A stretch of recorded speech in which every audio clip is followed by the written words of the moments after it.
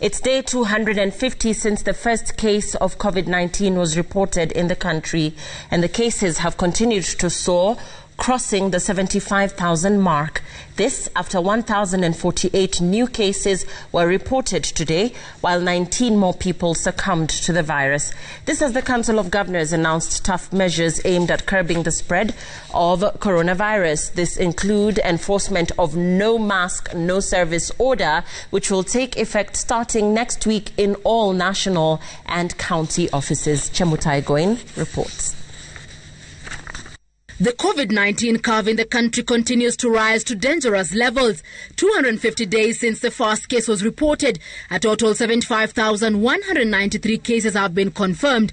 The last 24 hours, accounting for 1,048 new infections and 19 deaths, pushing the death toll to 1,349.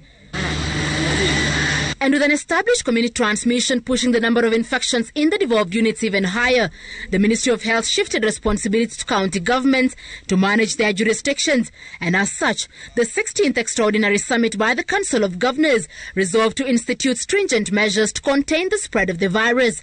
All county governments will embark on a rigorous civic education campaign dubbed No Mask, No Service.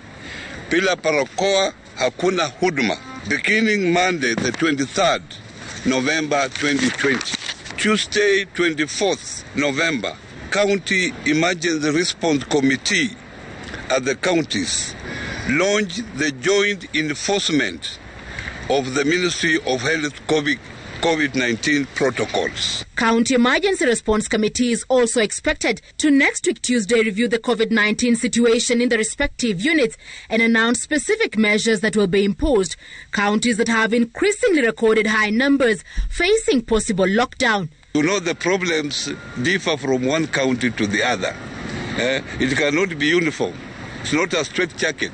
So, we are hopeful that those meetings will be able to resolve county specific issues. The spike in the number of infections having literally overrun the existing medical facilities, counties now require to up their game, with many patients now requiring constant oxygen supply.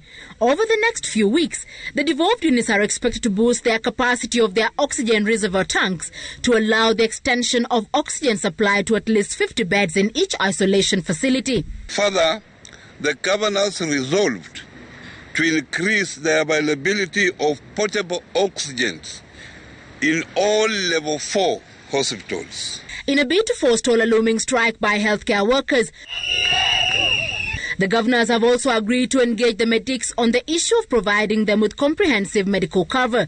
Who can come and parade those beds and take them away? While questions continue to abound on the preparedness level of the devolved units, the governors lament that the delayed disbursement of funds was negatively impacting the war against COVID 19. The prevailing situation escalates into the fourth month without resources, then we may be staring at a looming shutdown of all services in the counties. With the counties on high alert, the clarion call to the public is to strictly adhere to the prescribed infection prevention measures. Chemutai Goin Citizen TV, Nairobi.